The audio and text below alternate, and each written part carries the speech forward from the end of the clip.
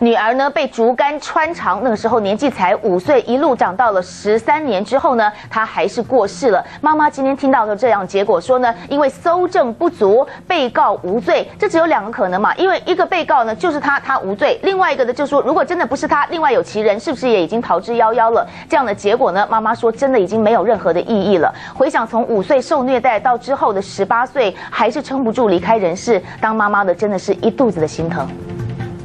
戴着小兔子的面具，这名被害女童在去年三月结束了苦难的人生。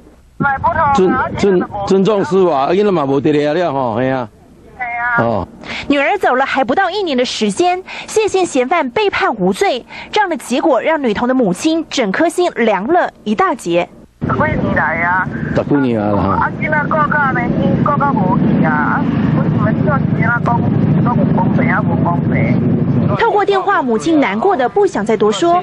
回想女儿五岁的那一年被凌虐之后，只剩下八公分的小肠，辛辛苦苦活到了十八岁，每一天都有打不完的针，每一天都备受折磨。从十三年前到然后去世以后，还没有一百四十公分，很瘦很矮，因为是。生长就是啊，常常有病啊。当地里长说，女童在世的时候，几乎每天都会和妈妈来这间寺庙拜拜，祈求身体健康，也期盼嫌犯早日受到制裁。这信的嫌犯他自己有给他妈妈讲一句话，他关出来以后，未来哈赚钱，会来好好的弥补他们。官司打了十四年，嫌犯被判无罪。